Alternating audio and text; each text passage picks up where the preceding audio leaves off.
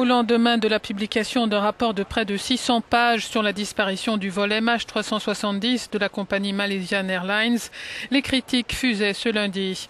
Le document émanant d'experts indépendants n'apporte aucune explication sur le drame survenu en mars 2014, mais il indique notamment que la batterie de la balise de localisation sous-marine fixée sur la boîte noire de l'avion avait cessé de fonctionner en décembre 2012 et n'avait pas été remplacée. Parmi les proches des 239 personnes qui se trouvaient à bord de l'appareil, certains souhaitent que la compagnie soit sanctionnée. Torturés par la mystérieuse disparition de leur bien-aimé, les familles veulent surtout que les opérations de recherche qui pourraient s'achever en mai se poursuivent. Il ne faut pas arrêter de chercher. Nous voulons tous savoir ce qui s'est passé, indique cette Malaisienne. Tant qu'il n'y a pas de preuves sûres, je continue d'avoir l'énorme espoir que mon fils est vivant, souligne cet homme. Ce week-end, un an après la disparition mystérieuse du Boeing, des centaines de personnes ont rendu hommage aux disparus, en Malaisie et en Chine. La majorité des passagers de l'appareil étaient de nationalité chinoise.